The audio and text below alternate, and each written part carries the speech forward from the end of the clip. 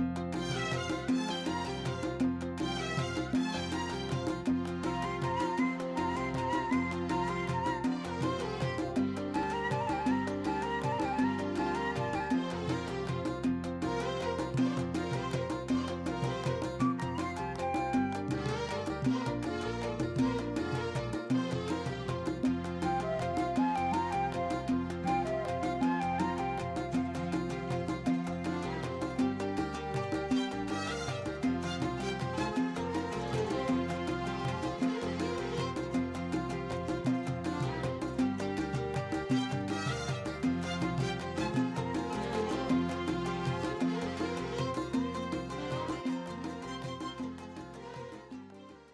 أعزائي المشاهدين مساكم الله بالخير وحياكم الله معانا. وحلقة جديدة من برنامجكم من مكتبتي.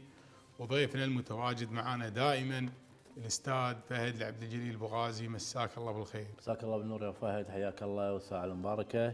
وأنت قاعد تقدم يعني يعني تقول مقدمة البرنامج. أنا الحقيقة شد شدني خبر في هذه الصحيفة. آه اللي هي طبعا صح ملحق الرياضي للرأي العام.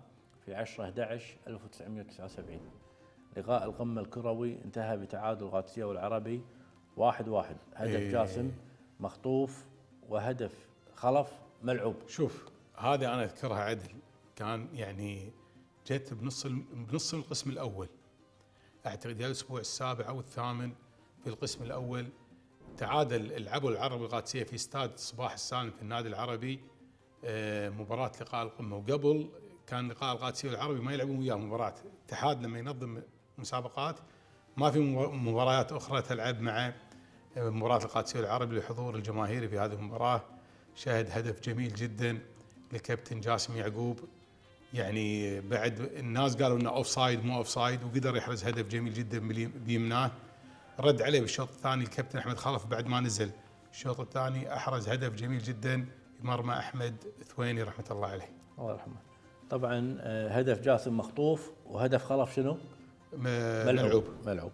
هذا طبعا الشيخ عبد الله الجابر يتوسط كبار الحضور وهذا طبعا قبل لعب الفريقان والحكام والمدرجات ضاغت بالجمهور هذا صحيح. طبعا صور جميلة وفهد صحيح. هذه صورة جميلة. طبعا هنا تقول لاعبين؟ علي الملا. أشوف إيه لازم أقولهم. هذه صورة جميلة. ما تطوف لا والله ما تطوف طبعا اللي واقفين هني الكابتن اللي واقف آه، عبد الله أحمد عبد الرسول وأعتقد اللي يمه كنا عنبر سعيد الحكم عبد الله غريب هني علي مندني للحين ما قعد وبعدين آه، كابتن محمد شعيب رحمة الله عليه حكم. آه، هني جنب شعيب عبد العزيز المطوع فيصل الدخيل سامي الحشاش فالح فلاح علي الملأ.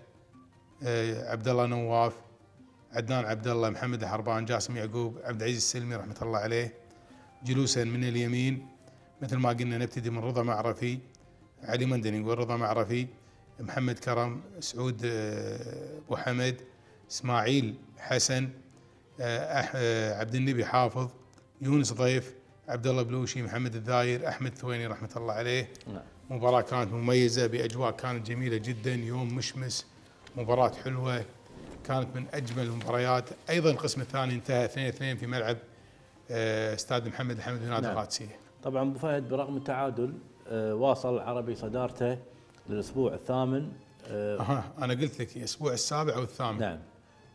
وقفت العارضة وقفت العارضة في طريق هدف للقادسية. صحيح. طبعا جاسم والملا حبايب هدف التعادل اللي خلف والفرحة واضحة عليه وعلى علي الملا. اعتراض من عدنان ومندني وفرحه للداير وفلاح. طبعا آه هذه صور جميلة آه للمباراة اللي شاهدها أبو فهد 19000 متفرج. صح الملعب مليان كان. نعم 19000 متفرج. طبعا يواصل العربي آه، صدارته للدوري برصيد 14 نقطة بينما رصيد القادسية 12 نقطة. اللاعبون في الميزان آه، أحمد ثويني حافظ على مرماه بيقظة كانت توقيتاته سليمة. الحربان أجاد تغطية علي الملا رضا معرفي تغطية سليمة. عبد الله عبد الرسول مراقبة جيدة. يونس ضيف أجاد قطع الكرات العالية. محمد داير كان شعلة في النشاط. سعود وحمد لم يكن في حالته الطبيعية. صنع الهدف الأول صنع هدف القادسيه هو. فالح فلاح لم يظهر المستوى اللي ظهر فيه في المباريات السابقة. جاسم يعقوب نشطا في الشوط الأول وأحرز هدف القادسيه وقل أداء في الشوط الثاني. فيصل دخيل لعب مباراة كبيرة بذل مجهود طيب آه، وسدد ومول زملائه. عبد الله نواف تجاوب في الشوط الأول مع جاسم وفيصل وقل أداء في الشوط الثاني. عبد العزيز خلف لعب في الشوط الثاني بدلا من سعود ولم تسنح لنا أي فرصة. ساكت نطلع فاصل. وغازي. نتابع بقية الحلقة. أعزائي المشاهدين لا تبعدون خلوكم معنا فاصل قصير وراجعين لكم.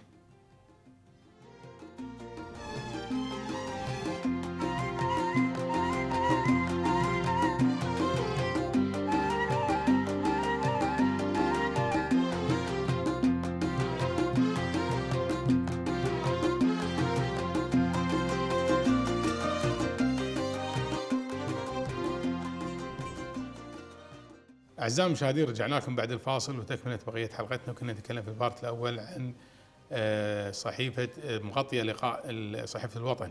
نعم. مغطيه لقاء آه، القمة بين القادسية والعربي موسم 79 80 نعم. يوم في استاد صباح السالم انتهى بنتيجة 1 1 أه التشكيلة يقولها ولا أنت قلتها أبو فهد؟ إيه. التشكيلة.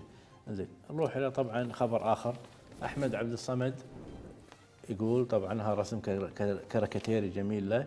يقول نوافق أن ندير مباراة العربي الحكم البناي. طبعا قال أحمد عبد الصمد رئيس نادي العربي أن المباراة كانت جيدة ولولا الهدف اللي احرزه القادسيه في بداية المباراة لكان العربي أفضل من هذا بكثير. وأضاف أن المباريات اللي يكون فيها طرفا كل من القادسية والكويت والعربي نفضل أن يديرها حكام من خارج الكويت. أو الحكم الدولي عبد الوهاب البناي. فنحن القادسية والكويت. اي قادسيه لا قادسية الكويت والعربي. اي واحد يلعب مع الثاني يقول حكام اجانب أو عبد الوهاب بن عبد الوهاب مع البناي إن عبد الوهاب بن عضو جمعيه عموميه بنادي القادسية إيه.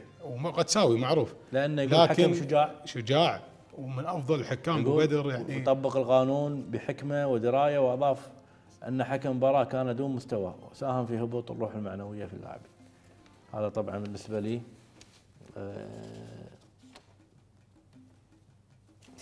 صرح منصور الميل رئيس نادي رئيس القسم الرياضي بالإذاعة بأن نادي كاظمه سيقدم ثلاث ساعات قيمة جوائز الذين يتنبؤون بنتيجة مباراة اليوم بين الكويت وكاظمه وعلى الراغبين بالاشتراك آه، أن يتصلوا بإذاعة البرنامج الثاني من الساعة الواحدة والنصف حتى الثالثة.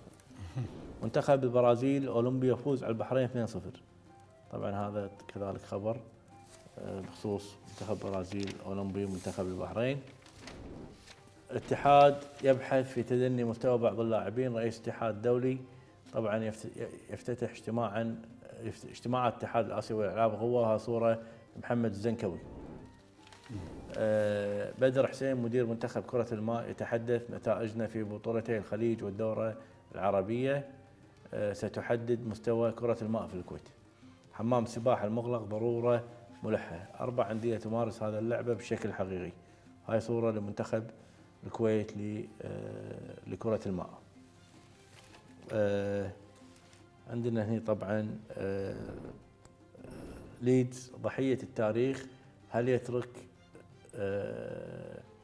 يعني هني شو يقول أبو فهد؟ يقول ثارت ثائرة جمهور نادي ليدز الانجليزي بعد أن مني فريقه بهزيمة نكراء وفي عقر داره واحد ثلاثة آه، يعني ثلاثة واحد أمام فريق بريستول سيتي.